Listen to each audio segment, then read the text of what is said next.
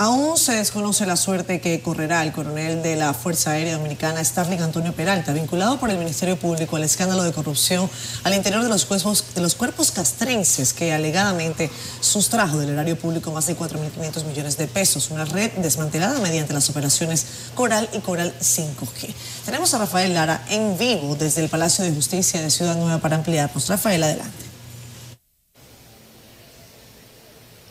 Saludos, muy buenas tardes. Así es, inicialmente el Ministerio Público dio a conocer que apresó a 14 personas involucradas en el supuesto entramado develado mediante la operación 5G. Sin embargo, al momento de presentar la solicitud de medidas de coerción ante la Oficina de Atención Permanente del Distrito Nacional, solo solicitaron 18 meses de prisión y que el caso sea declarado complejo contra 13 personas. De esta forma, eh, fue dejado fuera del petitorio que hace el Ministerio Público el coronel de la Fuerza Aérea Dominicana, Starling Antonio Peralta quien es señalado en la página número 17 de la solicitud de medidas de coerción como uno de los altos oficiales que supuestamente se benefició de la supuesta trama que manejó más de 2.500 millones de pesos de manera fraudulenta al interno de los cuerpos castrenses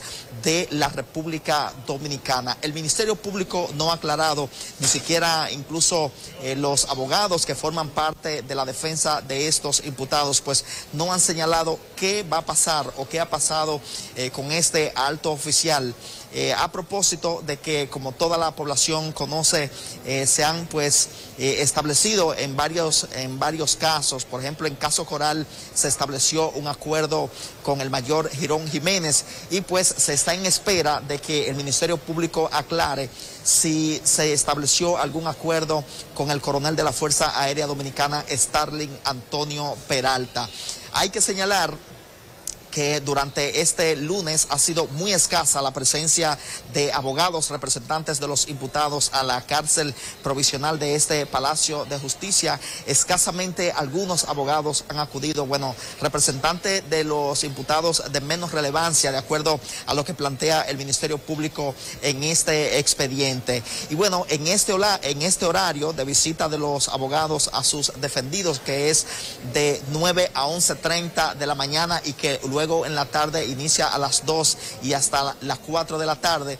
Eh, ha sido bastante escasa. De manera que durante el transcurso de la tarde vamos a esperar eh, pues conversar con algunos de los abogados eh, más, más informados, vamos a decir, para que pudieran dar una información en torno a qué ha estado ocurriendo con el eh, coronel de la Fuerza Aérea Dominicana, Starling Peralta, quien no se encuentra preso y no se sabe eh, si el Ministerio Público estableció algún acuerdo en torno a su situación recordar que este domingo que acudieron a la primera vista en la oficina de atención permanente de este distrito nacional, pues se aplazó para el próximo jueves 25, donde será conocida la solicitud de medidas de coerción a propósito de que la mayoría de los abogados alegaron de que no conocían el expediente y debían tener tiempo para edificarse mejor y pues articular eh, una defensa positiva en torno a sus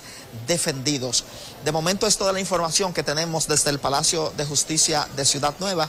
Nosotros nos mantenemos aquí, pues estaremos informando de cualquier novedad que se presente en torno a este caso de los imputados en la operación 5G, que dicho sea de paso, y finalmente el Ministerio Público está solicitando que sea fusionado con el caso eh, Coral, que inicialmente pues eh, involucraba a unas seis personas, incluyendo al ex jefe del Cuerpo de Seguridad Presidencial durante el periodo eh, presidencial de ocho años de gobierno del expresidente Danilo Medina.